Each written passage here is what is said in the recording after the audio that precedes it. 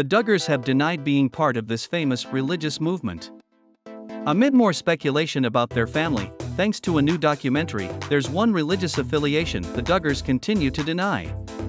When the Duggar family first began appearing in various specials on TLC, people were intrigued by their lifestyle choices. Opting to have as many kids as they could, the Duggars stated that they believed God would decide when they were done. The commitment to having as many children as possible is something found in various religions and movements, but at first, the Duggars didn't speak up about their specific religious beliefs. Instead, they shared glimpses into their home life, showing their family's values no TV, boys and girls in shared dorm style rooms, homeschooled at the kitchen table, and skirting around the question of religion. Despite many similarities between the family's lifestyle and a particular religious position, and the amount of power they seem to have, they denied being part of the somewhat notorious religious movement. Are the Duggars involved in Quiverful? When the Duggar family first began appearing on TLC, people were mostly confused about what their religious background was. They spoke about God often, talked about praying, and had Bible study at home but didn't specifically say what religion they subscribed to. Many publications over the years stated that the Duggars were part of Quiverful, a Christian theology that encourages families to eschew birth control and leave their family planning up to God. According to various sources, including People magazine, Jim Bob and Michelle Duggar have denied being part of Quiverful. In addition, the family has never confirmed its ties to any other religion, simply saying they are Christian Baptists.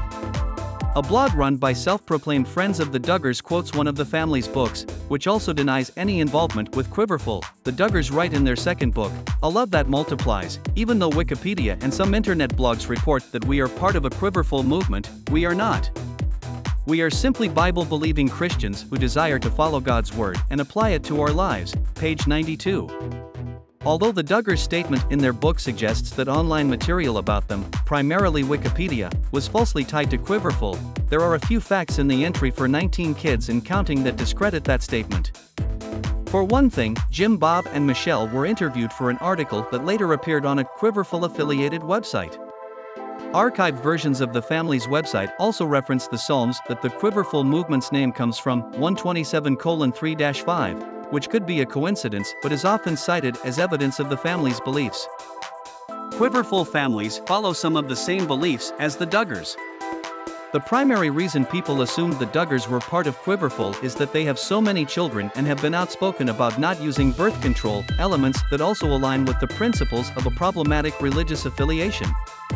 The theological position is popular in the United States, but it's also something other countries with somewhere around tens of thousands of families following the philosophy. For a long time, Quiverful seemed like the only explanation for the Duggars' largely offbeat beliefs and conservative values. But in the heyday of Reddit threads and internet sleuthing, viewers of the show began to put the pieces together and figured out that the Duggars largely follow the principles of the Institute in Basic Life Principles, IBLP. Someone close to the family was even quoted as saying that everyone who has ever spent any real amount of time with them has known forever that they are essentially devout Gothard followers.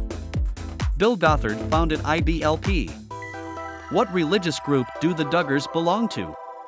The Duggars are very careful to avoid claiming any particular movement or theology, beyond identifying as Christians.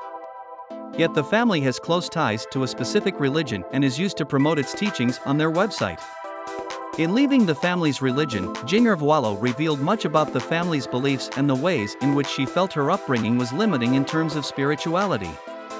While Jim Bob and Michelle might deny any connection, footage from 19 Kids and Counting documented the family attending an IBLP-affiliated camp program.